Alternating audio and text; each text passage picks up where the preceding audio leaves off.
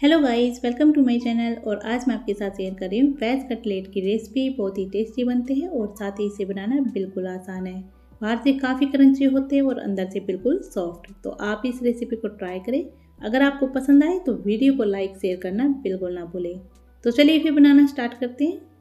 इस रेसिपी को बनाने के लिए सबसे पहले लेंगे एक बोल और साथ ही मैं ले रही हूँ पाँच से छः उबले हुए आलू। और आलू को कर लेंगे कद्दूकस। कद्दूकस करने से इसमें बिल्कुल भी गुठलियाँ नहीं होती है। तो इसीलिए हम करेंगे इसे कद्दूकस। और ये लीजिए आलू को कर लिया कद्दूकस। और अब हम इसमें डाल देंगे सब्ज़ियाँ। और सब्जियों में मैं ले रही हूँ मटर, बारीक चॉप की हुई शिमला मिर्च, बारीक चॉप की हुई बीन्स। थोड़ी सी डाल रही हूँ मैं इसमें कद्दूकस की हुई गाजर। और सभी सब्जियों को डाल देंगे बोल में। आप अपने स्वाद के अनुसार कोई भी सब्ज़ियाँ इसमें डाल सकते हैं। और अब हम इसमें डाल देंगे तीन से चार बारीक चॉप की हुई हरी मिर्ची। थोड़ा सा बारीक चॉप के हुआ हरा धनिया, हाफ़ टी स्पून लाल मिर्ची पाउडर, हाफ़ टी स्पून जीरा powder, half teaspoon garam masala और टेस्ट के अकॉर्डिंग डाल देंगे नमक, हाफ़ टी स्पून काली मिर्ची पाउडर, हाफ़ टी स्पून अमचूर पाउडर, थोड़ी सी डाल देंगे इसमें चिली फ्लेक्स हाफ़ डाल रही हूँ मैं नींबू का रस। बाइंडिंग के लिए अब हम इसमें डाल देंगे हाफ़ कप पोहा और साथ ही इसमें डाल देंगे तीन चम्मच कॉर्नफ्लोर अगर आपके पास कॉर्नफ्लोर नहीं है तो चावल के आटे का भी इस्तेमाल कर सकते और अब हम करेंगे अच्छे से इसे मिक्स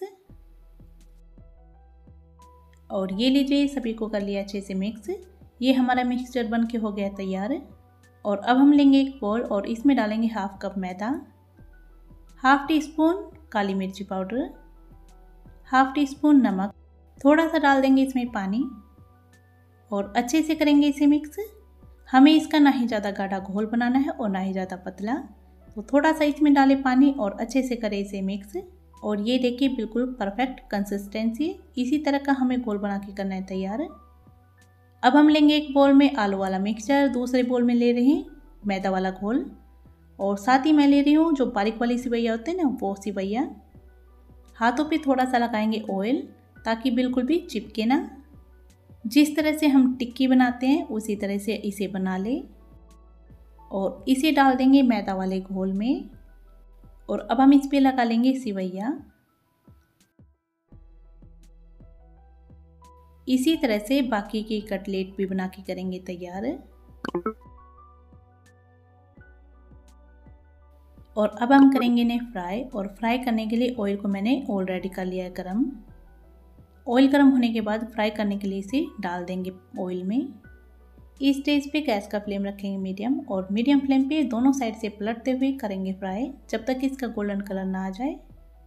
इन्हें फ्राई होने में ज़्यादा टाइम नहीं लगते, सिर्फ़ दो मिनट में अच्छे से हो जाते हैं फ्राई और ये लीजिए, दोनों साइड से अच्छे से फ्राई हो चुके आप देख सकते हो, काफ़ी अच्छा इसका कलर आया अब हम इसे निकालेंगे एक टिश्यू पेपर पे, ताकि इसका एक्स्ट्रा ऑयल निकल जाए। और ये लीजिए हमारे वेज कटल बन के हो गए तैयार। देखते ही आ रहा है ना मुँह में पानी। काफ़ी टेस्टी बनते हैं तो आप इस रेसिपी को ट्राई करें। अगर आपको पसंद आए तो वीडियो को लाइक शेयर कमेंट करना बिल्कुल ना भूलें। और हाँ मेरे चैनल को सब्सक्राइब कीजिए बेल आइकन को प्रेस कीजिए, ताकि आने वाली हर न्यू वीडियो का नोटिफिकेशन सबसे पहले आपके पास आए। नेक्स्ट वीडियो में फिर मिलेंगे एक न्यू रेसिपी के साथ। तब तक के लिए बाय बाय टेक केयर